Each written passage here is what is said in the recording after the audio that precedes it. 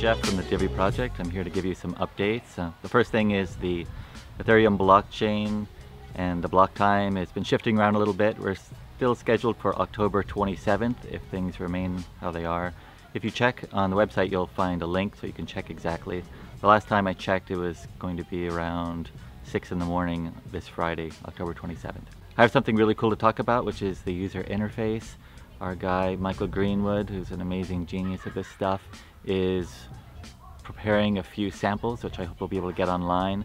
It's not the final thing, it's just sort of really playing around at this point, but it's coming up with some cool ideas.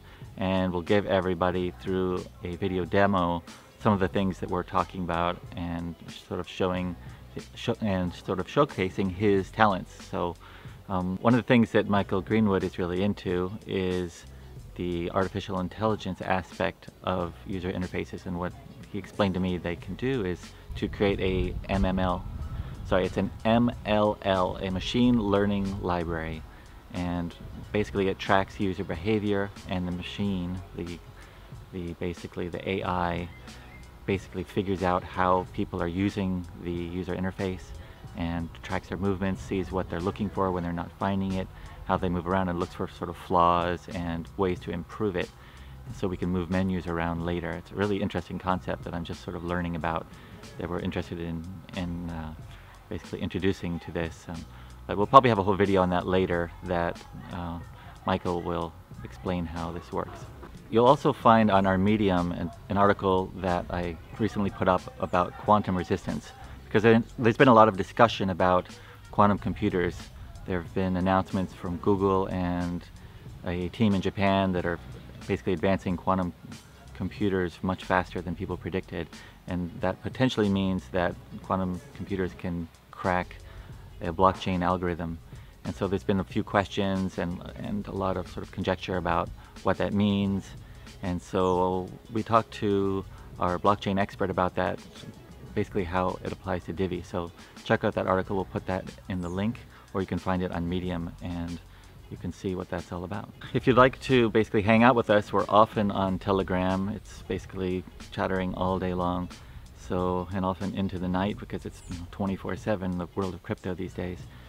So um, be sure also to sign up for our email list to get whitelisted for the ICO. And we're really happy to see you there soon.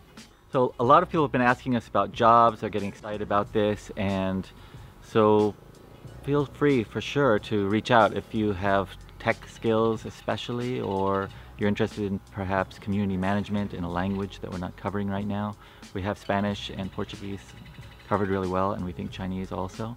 But other languages who are interested in what you may have to offer. Um, tech people too, we're definitely going to be expanding the team. But what we're doing with the Smart Wallet has a lot of different parts to it and so we're going to need several teams of people working on this. If you have really amazing tech skills and love what we're doing and want to change the world, then feel free to talk to us about joining our team.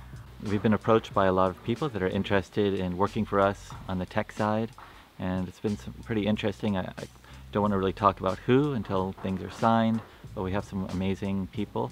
So watch out um, for an update in a few days, and hopefully we'll be prepared to announce some pretty spectacular additions to the team we've got this amazing team of people now that we call the Minions, and they're hilarious. They come from all over the world. We have Australia, we have Brazil, we have Mexico, we have an American guy, and they're just a riot. They just constantly are all over the message boards and our internal Slack, finding funny things to do, and just they work all day and night. They're, they're really amazing. So if um, you want to be a Divi Minion, be sure to contact us, especially if you are fluent in one of the languages that I didn't just mention.